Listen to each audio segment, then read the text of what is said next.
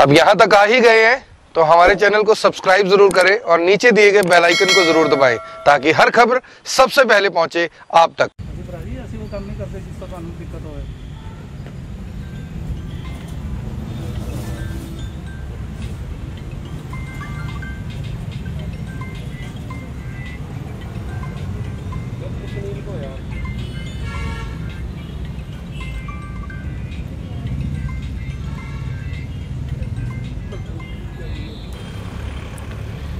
नमस्कार, आप लाइव तस्वीरें देख रहे हैं हरियाणा के ज़िले यमुनानगर से, जहाँ पर आप सभी को बता दें कि इस समय मौजूद है हम लोग यमुनानगर के सिविल अस्पताल की मॉर्चरी में आपको लाइव तस्वीरें दिखाने का माध्यम बन रहे हैं। आप सभी को बता दें, एक नया मामला यमुनानगर में सामने आता है। यमुनानगर की नंदा कॉलोनी, जो कि फरकपुर में पड़ती है, वहाँ पे संदिग्ध अवस्था में एक बुज़ुर्ग महिला और उनके बेटे का शव बरामद होता है। मौके पर जो है, यहाँ पर जो पुलिस के विभाग के अधिकारी हैं, वो कार्रवाई करने के लिए आ चुके हैं। आप सभी से अनुरोध, वीडियो को शेयर ज़रूर कीजिएगा। इस समय मौजूद है हरियाणा के ज़िले यमुनानगर से। आप सभी को दिखाना चाहेंगे, मौके पर प्रशासन मौजूद है। प्रशासन की। गाड़ी मौजूद है। आप लाइव तस्वीरें देख रहे हैं हरियाणा के ज़िले यमुनानगर से जहाँ पर आप सभी को दिखाना चाहेंगे कि एक बुज़ुर्ग महिला और साथ ही साथ उनके जो बेटे हैं उनकी जो है संदिग्ध परिस्थितियों में जो है बॉडी मिलती है। आप सभी लाइव तस्वीरें देख रहे हैं हरियाणा के ज़िले यमुनानगर से जहाँ पर इस समय मौजूद है हम लोग मॉर्चरी के बाहर। चंपाल जी क्या मामला किस मामले को लेकर आए हैं आप आज यहाँ?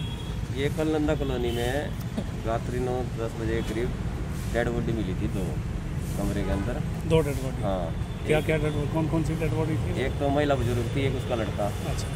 लड़का था जो महिला तो अस्सी नब्बे साल की बुज़ुर्ग थी। और लड़का यही कोई पचपन साठ साल का था जो दिमागी तौर से पहले परेशान था।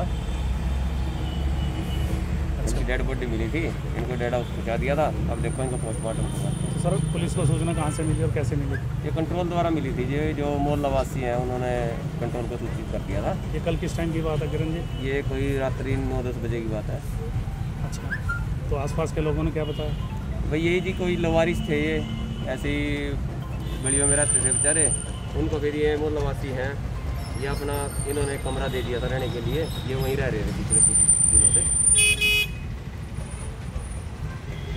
मोहल्लावासियों ने क्या बताया सर बस यही कि ये यहीं रहते थे बुज़ुर्ग महिला थी तो चल फिर नहीं सकती थी ये लड़का था ये वैसे दिमागी तौर से परेशान था यहीं मोहल्लावासी से ही खाना खुना ले लो के या कुछ मोहल्लावासी दे देते थे इनको खाना खा पता चला कि परिजन भी हैं इनके आसपास कहीं बस ये एक लड़की है इनकी लेकिन वो कभी कभार आ जाती थी कोई साथ तो रहता था नहीं तो क्या कार्रवाई की जा रही है सर तो देखो जी अब पोस्टमार्टम करवा रहे हैं जैसे पोस्टमार्टम कर रहे हैं जैसा भी आप सर आदेश कर रहे हैं वैसे कर रहे हैं। नमस्कार हमारे साथ मौजूद सर आपका नाम? मेरा नाम मोनू है मोनू जी क्या कहना चाहेंगे? किस तरह आपको पता चला और किस तरह मोहल्ले वासी को पता चला कि वो बिल्कुल मर चुके हैं या फिर वो है? मेरे को तो फ़ोन आया था जी। जी आपको फ़ोन आया था। हाँ जी उनकी डेथ हो गई है। जी डेथ हो गई है। तो आप लोग उसी मोहल्ले में रहते थे हाँ जी हम उसी मोहल्ले में रहते हैं। तो सर किस तरह का सर मानसिक रूप से तनाव था जो मम्मी थे उनके वो नब्बे साल की उम्र थी। काफ़ी बुज़ुर्ग थे। काफ़ी बुज़ुर्ग थे। मगर जो चल पाते नहीं थे लेटरिन बाथरूम बेचारे करते थे। तो कहीं ना कहीं आपको क्या लगता है क्या हुआ होगा क्या चीज़ ऐसी हुई होगी? ये तो पता नहीं था ये तो पता है। तो अब क्या आगे की क्या क्या होगा कि मोहल्ले वाले उनका संस्कार हाँ हम मोहल्ले वाले सारे मिलके ही संस्कार तो रोटी के लिए खाने के लिए भी आप लोग ही उनको दिया हाँ जी सारे हमारे जितने मेरे दोस्त हैं मेरे भाई हैं अपने जी। हम सारे मिलके रोटी का के निवासी हैं आप? हाँ जी फरपुर के निवासी हैं कितने समय से वो यहाँ पर आपके पास थे? आप वो तो हमें एक महीना पहले मिले थे। एक महीना पहले कहाँ मिले थे वो आप रोड पे मिले थे। अच्छा फिर किसी से आपने किसी के घर में हमने हाँ हमने कमरा किराए पे कमरा दबा दिया था उनको। अच्छा वो करवा दिया था। हाँ जी। तो क्या करता था उसका बेटा कुछ करता कुछ नहीं करता था बेला था वो बस बेला ही आप लोग भी उसे खाना देने का? हम बस चार यार दोस्तों मिल के राशन पानी दे दिया था बेचारे को। तो बिजली जो भी तक रहा है हमने पहले अपने आप ही बात कर ली सर। अभी पुलिस ने क्या कार्रवाई करी है सर? क्या कहना चाहिए इसके विषय में थोड़ा सा?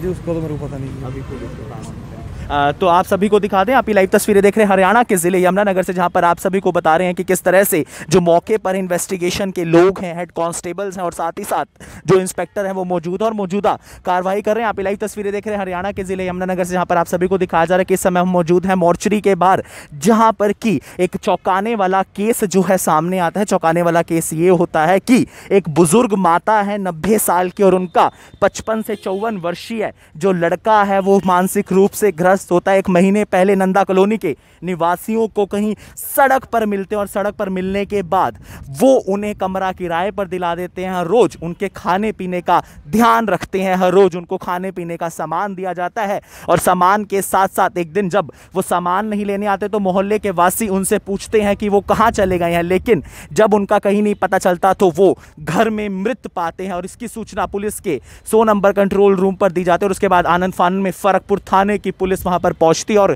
कार्रवाई करती आप सभी से अनुरोध वीडियो को शेयर ज़रूर कीजिएगा। इस समय मौजूद है हम लोग हरियाणा के ज़िले यमुनानगर के मॉर्चरी के बाहर, जहाँ पर आप सभी को जो है लाइव तस्वीरें दिखाने का माध्यम करें, जिस तरह से लोगों का कहना है कि माता बहुत बुज़ुर्ग थी, नब्बे से पिचानवे वर्ष की माता थी, और जो है काफ़ी क्षति काफ़ी मतलब कि जो है वॉशरूम वगैरह वो नहीं कर पाती थी। इस व्यवस्था में नहीं थी कि वो खुद चल सके, फिर सके, और बच्चा जो उनका था वो मानसिक रूप से तनाव था। परिजन अभी तक का पता नहीं चल पाया, परिजन जो हैं, उनका इतना उनसे लेना देना नहीं था। आप सभी से अनुरोध, वीडियो को शेयर ज़रूर कीजिएगा। हमने आपसे बातचीत कराया, आप ये लाइव तस्वीरें देख रहे हैं हरियाणा के ज़िले यमुनानगर से और मौके पर यमुनानगर की पुलिस और फरकपुर थाना आप सभी को पता दे, लगता है और जिसके अंदर मौके पर पुलिस प्रशासन जो है पहुँच चुका था सीआईडी की टीम पहुँच चुकी थी और तमाम जो है कार्रवाई पुलिस की टीम करती हुई नज़र आ रही है। आप सभी से अनुरोध, आप लाइव तस्वीरें दिखाने का माध्यम बने हुए हैं आई ट्वेंटी के साथ और इस समय हम मौजूद हैं यमुनानगर की मॉर्चरी के बाहर जहाँ पर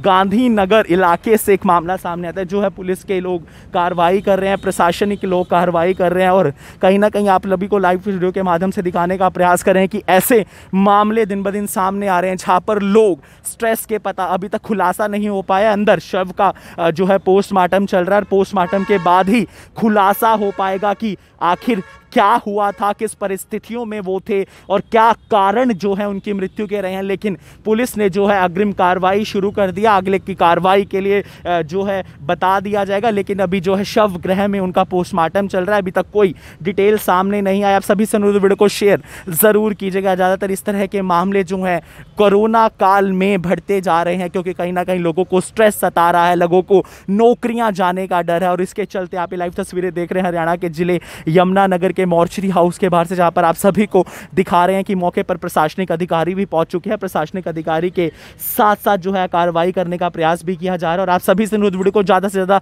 शेयर ज़रूर कीजिएगा, क्योंकि आपके शेयर के कारण ही लोग सचेत हो पाते हैं। अगर आपको भी इस प्रकार की कोई भी सूचना है तो आप आई बन के किसी भी नंबर पर जानकारी प्रदान कर सकते हैं, ताकि हम लोग जनता को सचेत कर सके। इस समय आप लाइव तस्वीरें देख रहे हैं, क्योंकि बताया जा रहा है, इनका कोई परिजन इनके साथ नहीं था। एक महीने पहले ही ये लोग जो है मोहल्ले वासियों को मिलते थे और मोहल्ले वासियों को मिलने के बाद जो है उनको पता न, उनको उन्होंने कमरा किराए पर दिला दिया था। कमरा दिलाने के बाद उनके खाने पीने का वो लोग इंतज़ार किया करते थे और इंतज़ार करने के बाद ही उनको आप ये लाइव तस्वीरें देख रहे हैं हरियाणा के ज़िले यमुनानगर से जहाँ पर आप सभी को प्रयत्न कर रहे हैं और आप सभी को दिखाया जा रहा है। आप लाइव तस्वीरें देख रहे हैं आई ट्वेंटी से। आप मुझसे हमको दे दीजिए इजाज़त बने रही आई ट्वेंटी के साथ। नमस्कार।